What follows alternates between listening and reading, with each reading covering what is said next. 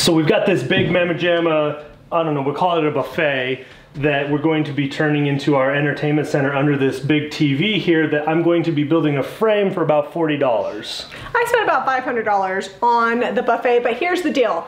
Zeb has a ginormous TV, and so finding something that would fit underneath it was not an easy task. So we're gonna try to make this new buffet look old. We're gonna cut these feet off. We're also gonna get this metal detail out of here. It looks good, but it doesn't really fit our style, so we're gonna remove it. I'm gonna be using Sweet Pickins in Moody Blue. It's an all natural milk paint. I've got one part warm water to one part milk paint. I put a blender ball in there. You might not be able to see it, but I promise it's there. It's gonna help us mix up this paint. Boop. It's all mixed up. I'm gonna let it sit and thicken and let some of the bubbles settle down. For starters, we're gonna get these hinges off. I think I'm only gonna pull them off one side because we're actually not painting the inside of this. We're just gonna paint the outside. To purchase the paint and products you see us use today, visit jamirayvintage.com.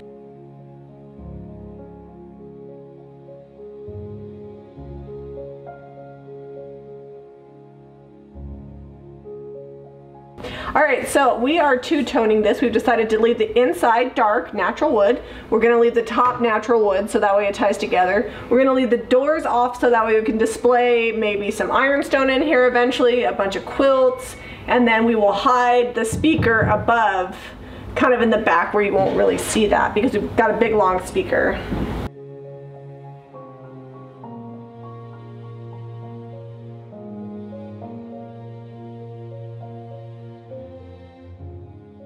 So for now we've decided to leave the doors off. I'm okay with the holes on here just because nobody's gonna really see them and I want it to look like an old cabinet. But I am going to paint over where the wood is light so that way it's not as noticeable. I'm just using DIY's Dark and Decrepit. It has a built-in sealer. I'll let that dry. I'll do a second coat and unless somebody comes stick their eyeballs right here, they're not gonna know that there were hinges. When you're going to frame out your TV, we have it in the other video, but it's old and you know, I'm gonna show you again now. So carefully, so as not to scratch your screen, measure exactly the exterior dimensions. So this is exactly 72 inches wide by 41 tall. So I need to be able to fit my frame around that and then I need about three inches on each side with my frame. That way I can have a box around the outside and the frame around it has air to move so you don't overheat your TV. You can drill holes underneath too. Yeah. You probably should. The last time I did this, I had a bunch of old salvage wood that was about the right length that I needed to make the frame. I don't have that this time around. I'm using this bead board. It's essentially double beaded pine. I'm gonna add three inches on each side to those lengths that I had. So 72, so I'm gonna go 78 because I'm gonna add three inches for my width. And then I'm also going to add uh, three inches for each side of the frame. So I'm gonna go 47. So 78 and 47 are what I, where I need the corners of my miters to be. I'm gonna be using these one by fours for the interior of the frame. This is what goes up against the wall and what hangs over there. So this is what I'm gonna be using here. So this needs to be, so this is the 78. This frame is pretty big, so I'm just gonna lay it out right here on the concrete and nail it up. I'm using my 15 gauge nailer. If you don't have a nailer like this, you could easily just use regular nails and a hammer.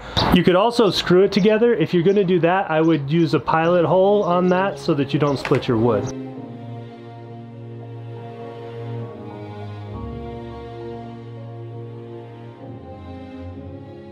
Okay, we've got our frame here. Now we're gonna add a little bit of strength because right now it wants to bow and sag because this is 78 inches long. So when I cut the beadboard, I want the inside of the miter cut right here, this spot here, all the way across to the bottom, if that's my bottom of my frame. I want this to be the actual measurement of the TV. hard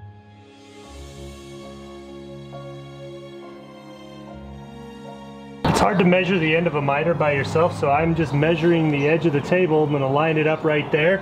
So I marked where I needed my cut to be right here at the table, so this is gonna be my 45 going up out of there. When I'm marking miters, I always do a little dog leg over.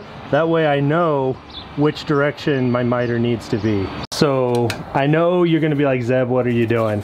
But for this part of the frame, I'm using some pretty heavy cardboard in the corner, glue, and a half inch handheld stapler.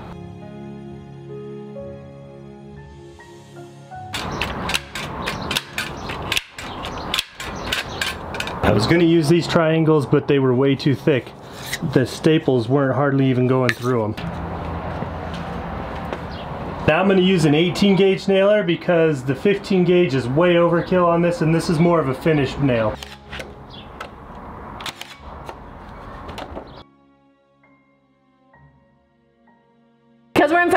I don't want to use the orbital sander, but I do want to just stress it, smooth out the paint a little bit. So I've got a damp rag. Now careful, when you do this, it could activate the paint, especially if there's bond in it. Um, and just so you know, if your piece is really shiny or you're worried about it chipping, you can add bond to it. But you can see as I rub this, it's starting to chip off. Down here, I'm just gonna rub where it would naturally wear. And I like it because milk paint doesn't like get streaky per se. It just kind of like, I don't know, like randomly chips off. This is not like an uber chippy piece, which I'm okay with. But I do want some distress on there. I'm gonna get the heat gun. I don't think I'm gonna get it to chip or anything, but sometimes.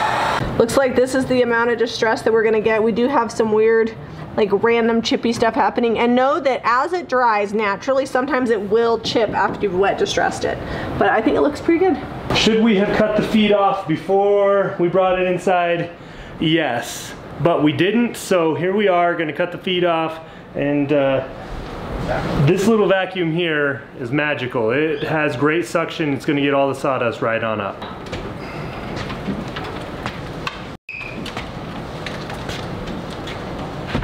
I thought these were all one piece, but I think they're just doweled in to this board on the bottom. I'm gonna see if I can just hit these out with a hammer instead of cutting them off.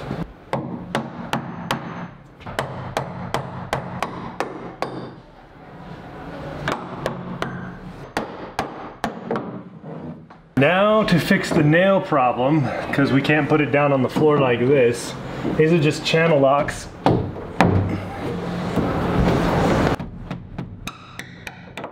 And it's just a finish nail on the top here. First step is gonna be old and gray. We're gonna gray out this wood and make it look old, and then we're gonna layer on some chippy paint.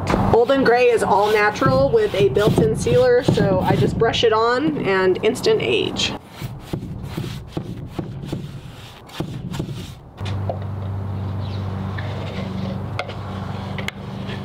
Look, you can see my little baby grass coming up in that patch that didn't come in good. It's recovering from uh, construction, and then now we have the pool coming in. I'm like, please don't drive on my grass.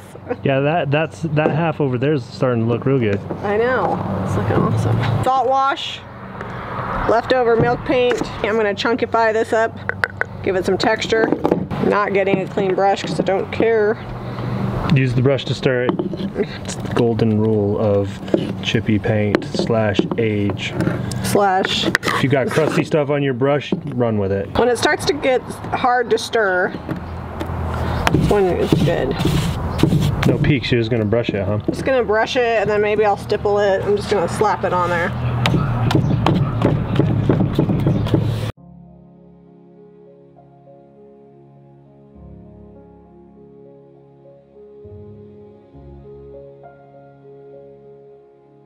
Next step, I'm just painting DIY White Swan right over the top.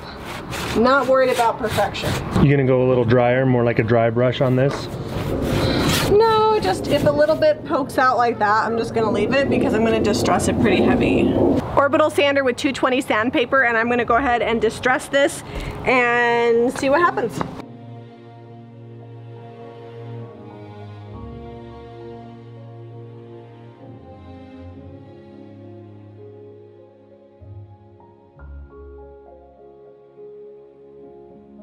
Now I'm just gonna come wet distress and bring back some of that old and gray that was underneath.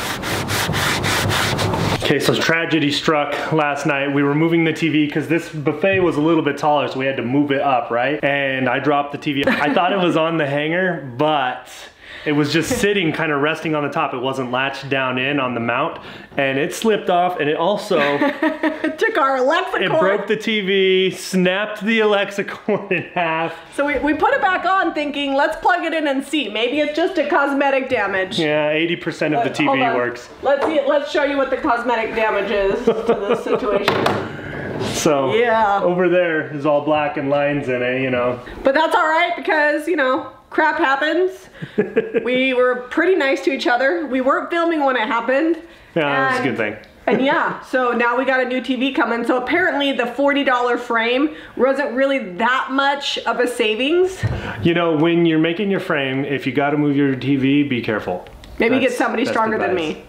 Actually, I don't think it was really me. No, it was up there and hanging, and I thought it was on, and it wasn't, and I backed away, and it fell. The good news is we went to Sam's Club this morning, we told them our story, and we got a discount on a bigger, better TV. And It ended up cost being less than this because it was the floor model. So there we go. And I'm gonna try to set it up there. I'm recording it and documenting it this time because I feel like I'm more careful if it's being documented. I feel like we should put like a mattress underneath it or something, some pillows. All oh. right, am I high enough? yes, you are high enough. Do I need to let it down? Yeah, you can. Oh, you were there. Let it down. At least on my side. Okay, my side's on. Oh. Sweet. All right, now does the frame fit the new TV? All right, I need you to stand back and let me know when I'm centered on stuff. And I'm going to hold this up. I have to hang the bracket on here. And it needs to be low enough that the remote still works with the TV. Okay, is that, that works? Okay, to hang this, I just need this old scrap piece of trim, a couple of drywall screws. I use number six on wood and drywall and all the stuff. And then just a level, make sure that everything's going on nice and straight. It's probably gonna be hard to see what I'm doing because the camera won't go that high, but just putting some screws into this board, then I'm gonna hang the frame on top of there and screw down from into the frame into the back of this board here and that'll hold it. So it's always best if you team lift. The TV's up, it's working, the frame is on it, the buffet's done. Maybe put like a mattress underneath or a couple of pillows so that if it does happen to fall, it gets a soft landing. But you know, it wound up being a kind of expensive uh, mistake. Shout out to the people at Sam's Club today. They were super nice to us, gave an amazing deal on a floor model. So we're not paid to say that, but thank you Sam's Club. I think Moody Blue really matches the rug that we have going on here. So we'll link that rug because a lot of people asked about it. If you want to buy the paint products today, you're gonna go to jamirayvintage.com. Be sure to give this video a thumbs up and subscribe to Jami Ray Vintage for more DIY.